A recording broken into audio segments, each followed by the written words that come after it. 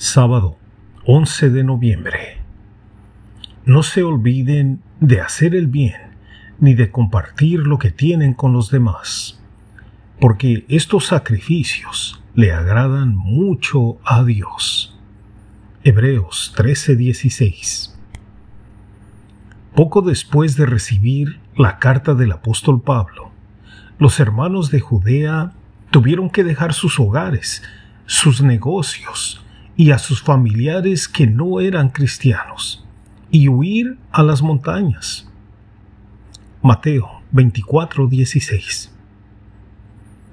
Está claro que en aquel tiempo era muy importante que se ayudaran unos a otros. Si antes ya habían puesto en práctica el consejo de Pablo de compartir lo que tenían, se les haría más fácil acostumbrarse a su nueva vida. Puede que nuestros hermanos no siempre nos digan qué necesitan. Por ello, seamos accesibles.